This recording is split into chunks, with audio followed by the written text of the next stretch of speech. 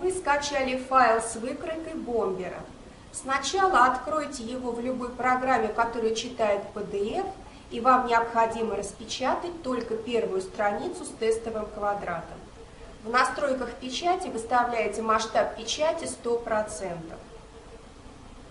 После распечатки первой страницы нужно измерить стороны квадрата линейкой и убедиться, что его размеры 10 на 10 сантиметров.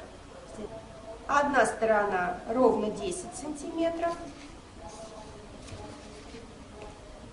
вторая сторона ровно 10 сантиметров, значит, если размер квадрата э, совпадает с заявленным на листе, э, при распечатке ваша выкройка не будет иметь искаженных размеров. После того, как вы убедились, что с масштабом печати у вас все в порядке, вы второй и третий листы пропускаете и начинаете печать с 4 по 25 страницу. Каждый лист подписан, какой ряд и какой порядковый номер. И также на каждом листе у вас будут метки в уголках в виде вот таких крестиков, по которым мы будем совмещать и собирать выкройку.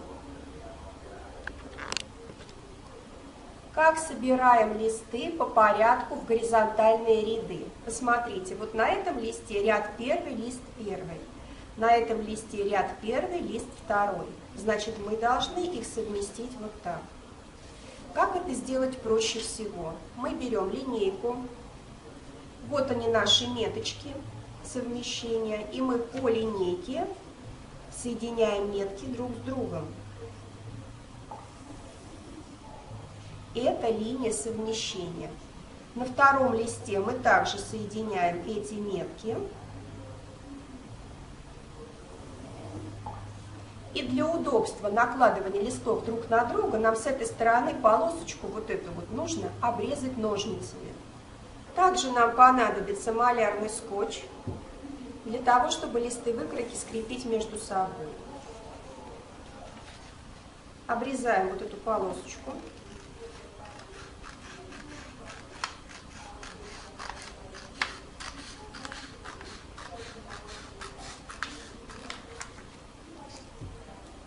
После этого листы накладываем друг на друга.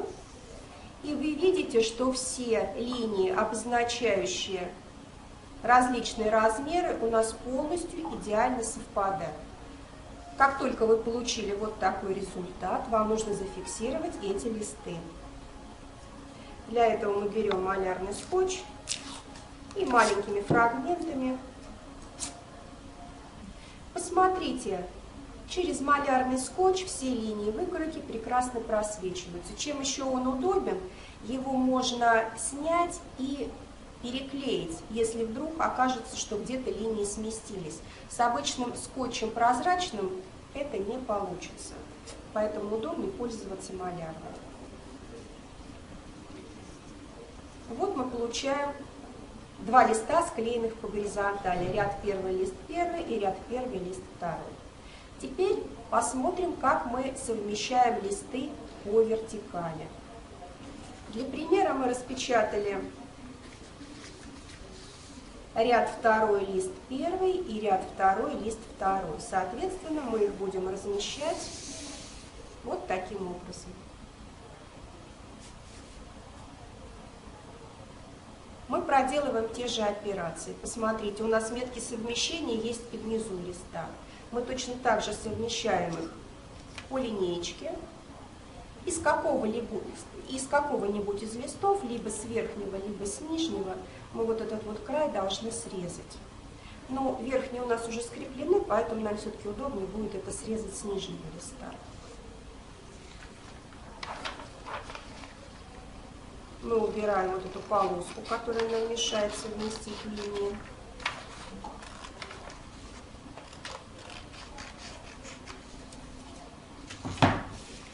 Точно так же наш листик размещаем, совмещая линии выкройки. Совместили, наживили. Для начала можно пару точек наживить, потом, если нужно будет, если все точно, тогда можно будет более прочно соединить. И мы подклеиваем второй лист. Точно так же метки совмещения соединяем карандашом. Но в этом случае мы и с правого края убираем лишнюю бумагу, и сверху.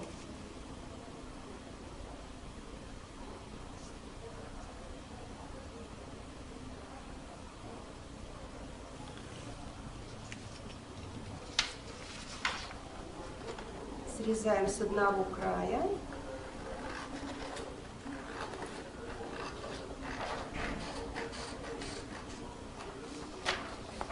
И убираем сверху.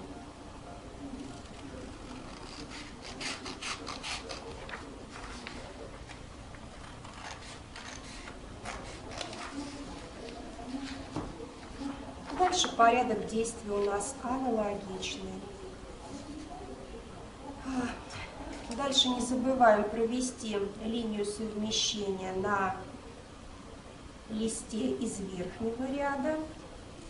И вот сюда мы накладываем лист второй, добивая совмещения линий выкройки. Вот посмотрите, здесь совпало, и по вертикали все совпало. Если где-то расхождение в 1-2 миллиметра, абсолютно не заморачивайтесь, потому что на точность э, перевода выкройки это не сыграет никакой роли.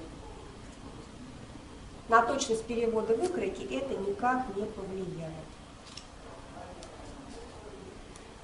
Точно так же мы наживляем в двух-трех точках и продолжаем собирать листы, пока не соберем полностью лист выкроек. Каким образом вы будете работать, то ли собирать сначала горизонтальные ряды, то ли собирать сначала вертикальные ряды.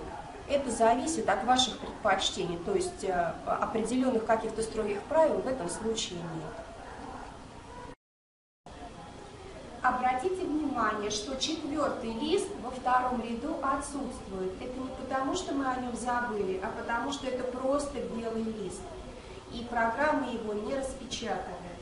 Поэтому после того, как вы склеили, вы просто в эту дырочку помещаете белый лист бумаги. И подклеиваете его точно так же скотчем, для того, чтобы дырочки у вас здесь не было.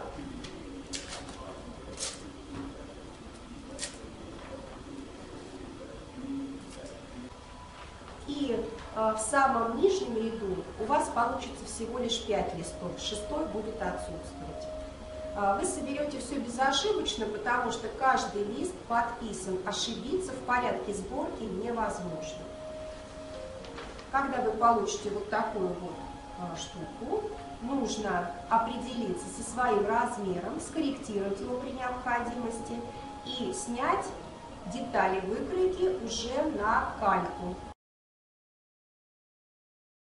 Вы склеили все листы выкройки, и теперь нужно определить, какой размер скопировать на каль. Это выкройка из журнала «Отобры», поэтому и таблицу э, мерок мы будем брать из журнала «Отобры». Для удобства рекомендуем ее распечатать.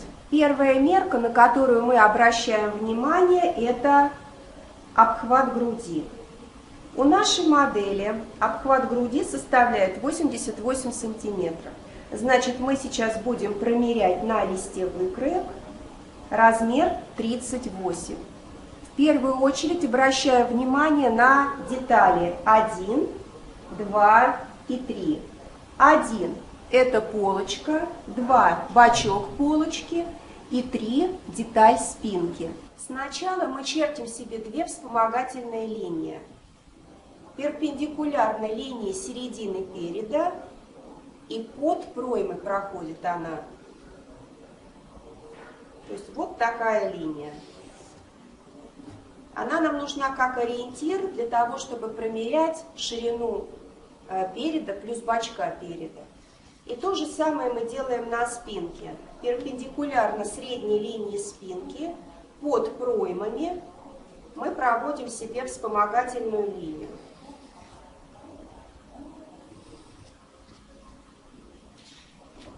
Так как наша модель по таблице соответствует 38 размеру. Мы с вами измеряем ширину спинки под проймой от середины спинки до линии, обозначающей 38 размер. По проведенной линии я прикладываю сантиметровую ленту и измеряю расстояние от середины спинки до линии, которая обозначает нужный нам размер.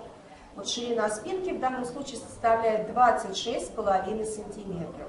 По намеченной вспомогательной линии мы измеряем расстояние от середины спинки до нужной нам линии. В данном случае эта мерка составляет 26,5 сантиметров. Так как это выкройка плоского кроя, мы можем данную мерку просто умножить на 2 и получить ширину половины изделия. А, ну, на всякий случай давайте мы проверим с вами и ширину переда и бачка переда. Точно так же по вспомогательной линии мы с вами измеряем расстояние от середины переда до линии, которая обозначает нужный нам размер. То есть мы измеряем только вот этот вот отрезок. В данном случае его длина составляет 16,3. И по вспомогательной линии на бачке переда мы тоже находим линии, которые соответствуют нашему 38 размеру. Это вот эта вот линия и вот эта линия. То есть нас интересует вот этот отрезок плюс вот этот отрезок. Здесь у нас отрезок 16,3, и тут же мы перекладываем на бачок. И получается, что общая ширина перед плюс бачок у нас составляет также 26,5 сантиметров. То есть для размера 38 Общая ширина бомбера составит 26,5 плюс 26,5, итого 53 сантиметра. Обхват груди по таблице у нас 88, соответственно полуобхват 44 сантиметра. 53 минус 44, 9 сантиметров.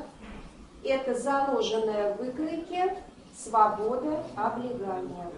То есть, если вы снимете выкройку себе размер в размер, то на полуобхвате у вас будет свобода облегания в 9 сантиметров, а на обхвате в 18. Если вы любите изделия объемные, свободные, то тогда снимайте размер в размер. Если вы хотите изделия более э, облегающие фигуру, более соответствующие контуру фигуры, то вы можете снять выкройку на размер меньше, то есть 36 тогда свобода облегания на полуобхвате у вас составит 7 сантиметров, соответственно, на обхвате 14 сантиметров. Либо вы можете снять э, на два размера меньше. В этом случае на обхвате у нас будет плюс 10, на полуобхвате плюс 5. А для нашего бомбера мы снимали выкройку на два размера меньше. Прежде чем проверить ширину изделия на уровне бедер, нам нужно определить, а где, собственно говоря, у нас это изделие закончится. Для того, чтобы определиться с этой меркой, мы измеряем длину выкройки от своего размера по линии горловины до своего размера по линии низа. В данном случае вот между метками расстояние мы измеряем. И у нас оно равно 54 сантиметра. К этой мерке мы прибавляем половину ширины воротника. Она составляет 3 сантиметра. Значит, 54 плюс 3. Длина изделия до пояса у нас составит 57 сантиметров. Так как пояс эластичный, его можно в эту проверку не включать. В любом случае он вам окажется в пору. Получившуюся мерку вы прикладываете к себе на спину, к седьмому шейному позвонку. Это позвонок, который э, сильнее всего выступает в области шеи. И смотрим по сантиметровой ленте, где заканчивается изделие. Нам нужен обхват бедер именно на этом уровне. Здесь манекен, а, у него пропорции не совсем соответствуют человеческой фигуре. У вас может получиться, что изделие закончится выше самого широкого места бедер, поэтому вам нужен будет не максимальный обхват, а обхват бедер на том уровне, где закончилось изделие. Аналогично мы промеряем ширину изделия по линии бедер, то есть от средней линии спинки до линии, обозначающей нужный нам размер, ну вот здесь вот внизу. Как вы уже убедились, мы можем измерить только ширину спинки, умножить на 2 и получить объем изделия по линии бедер. Для того, чтобы вам удобнее было работать с калькой, обведите жирной линией, карандашиком так вот поактивнее, тот размер, который вы будете себе переводить. Так вы не ошибетесь при переводе выкройки с листа выкроек на кальку. Когда вы переведете нужный вам размер, вот смотрите, мы перевели 34 размер деталь спинки, 34 размер деталь переда, 34 размер бачок. И вот у нас две детали рукава нижняя туда завернута, ее пока не видно, а э, передняя деталь рукава, вот у нас, ориентируемся по наличию метки. Когда все детали переведены, вам нужно эти детали склеить малярным скотчем, как будто они сшиты в изделие. Таким образом мы можем определиться с длиной изделия, шириной рукава и подкорректировать мелкие дефекты посадки. Мы уже примерку этих деталей делали перед раскроем, поэтому, видите, у нас здесь вот остатки канцелярского скотча. Но удобнее работать все-таки бумажным скотчем. С такой вот бумаги, кальки, он легко отклеивается. То есть вы можете изделие как бы собирать, разбирать, а, и а, выкройка ваша не повредится. То есть вот так обычно мы укладываем детали вместе, совмещаем перенесенные метки, ну, вот таким образом склеиваем. Можно не часто, не густо, потому что потом все равно его разбирать. Склеили полочку, теперь она у нас целая. Дальше склеиваем полочку со спинкой. Здесь удобнее работать, сложив выкройки лицо к лицу.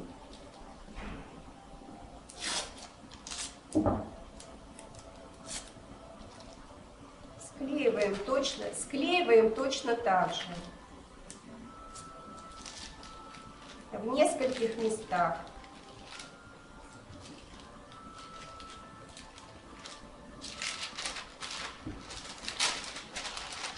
Далее нам нужно клеить детали рукава. Соответственно, мы соединяем переднюю часть рукава с полочкой, заднюю часть рукава со спинкой. И потом склеить нижний шов рукава, верхний шов рукава и плечевой шов. Когда вы склеили все детали, перед вами теперь не абстрактные детали кроя, а вполне осязаемый макет изделия, который вы можете примерить на себя и скорректировать какие-то а, недостатки, которые вам а, не нравятся. Получившийся макет мы можем примерить на человека. Середину переда размещаем по середине переда. Ориентиром у нас служит вот эта вот еремная вырезка, вот эта впадинка на шее. Середину спинки мы размещаем по позвоночнику. Ориентиром служит вот седьмой шейный позвонок и идущий по ним остистый отрог позвонку. Как вы видите, получившееся изделие у нас прямого силуэта. Здесь отсутствует приталивание. Для бомбера это характерно, потому что изделие к нам пришло из военной формы, из мужской моды. Это плоский крой. Поэтому, когда вы наденете на себя эту выборку, вы увидите вот этот характерный залом от кроя. это не дефект посадки, это особенность данного кроя. А, на бумаге он выглядит резко, потому что бумага жесткий материал, на ткани будет все гораздо мягче. А, что мы еще оцениваем? Длина изделия. Здесь еще у нас будет пояс шириной 6-7 сантиметров. Длина рукава. Здесь еще будет манжет шириной 7 сантиметров. Горловина, вырез может показаться вам великоватым, но по горловине у нас будет располагаться вот такой вот воротник из трикотажного кашкарсе. То есть без отшива макета вы можете увидеть, что в результате у вас получится. Конечно, это достаточно грубая прикидка, но тем не менее э, впечатление гораздо более полное, чем э, когда мы смотрим на плоскую выкройку.